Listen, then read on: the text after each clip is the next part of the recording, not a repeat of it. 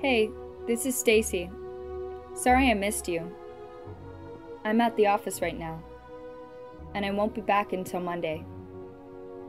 Please leave a message, and I will get back to you just as soon as I am available.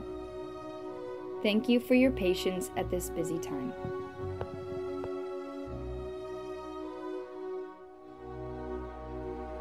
Be part of Stacey's team. Become a sponsor. Join the Supporters Club.